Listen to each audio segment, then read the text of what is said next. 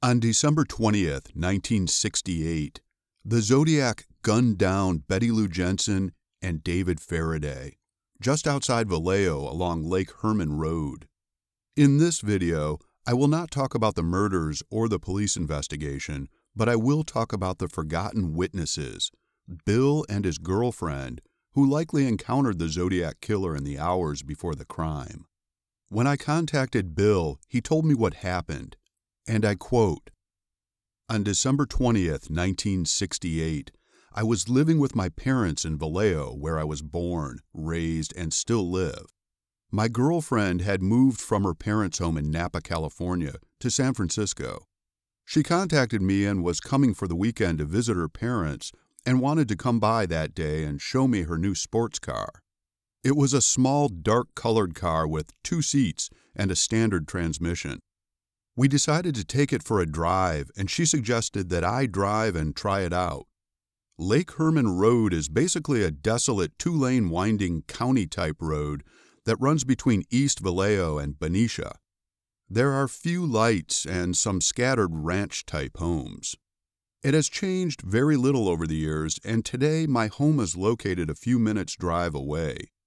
Back then, Lake Herman Road was known to the local youth as a place that had a few well known places to park and make out. The spot where the two youths were killed is one of those places. On this evening, I chose Lake Herman Road because I thought it would be a good place to test out the sports car. We drove down Lake Herman Road from Vallejo towards Benicia. I pulled into the entrance to the Benicia water pumping station. There is located a gate back off the main road, thus room to park. I pulled in and turned around with the car on the far right fringe of the entrance driveway with the lights off and the car still running. It was a cold night and I had the heater on. The car had toggle switches on the dashboard as controls, which were new to me. I was in the process of determining how they worked when I noticed a car coming from the direction of Benicia.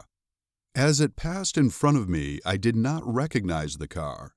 Back in that day, your car was part of your identity, and could only see that the driver was a white male with short hair and glasses. Again, at that time, there was no Zodiac. The car passed where I was parked, and I noticed that it started to stop. I do not think the driver initially saw the car we were in, as I was parked at the extreme north side of the driveway facing the road, and our car was a small dark sports car that would have blended into the night. I noticed the backup lights of the other car come on and I remembered that they were round in shape. My senses told me that this was not a good thing, and I turned on the lights, put the car in gear, and took off towards Benicia. The other car pulled into the driveway of the pump station, turned around, and came in my direction of travel. I sped up, and so did he. The next thing that happened was that he started to flash his headlights high beam, low beam, high beam, etc in an attempt to get me to pull over. I did not stop but sped up, and so did he. Contrary to what the police report indicates, he was gaining on me as we sped down the road. There is a fork in the road with one leg going on towards Benicia and the other heading back toward Vallejo. I waited to the last possible second and turned the sports car toward the right fork. The larger car could not make the maneuver. I went down about 50 yards and stopped. I looked back and the other car had stopped. At that point, my youthful testosterone kicked in and I started yelling that I was going to go back and kick his ass.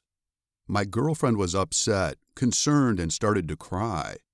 I watched the other car as it sat stopped in the roadway. After a few minutes, the other car slowly turned around and went back in the direction we had come from back toward the pumping station. I decided that good judgment outweighed valor and decided to continue on home, and we did. Bill concludes I am reasonably sure that the person who chased me that evening was the Zodiac, as I cannot come up with any other reasonable explanation of the events given the time, place, and circumstances of what happened that same night sometime later. I believe that what happened is that after the incident with me, he went back and parked his car and laid in wait for the next folks to park in that spot. Unfortunately, when the young couple did, they became his targets. If you want to know more about the facts of the Zodiac case and not biased reporting about so called suspects, you may want to get my book, America's Jack the Ripper The Definitive Account of the Zodiac Killer.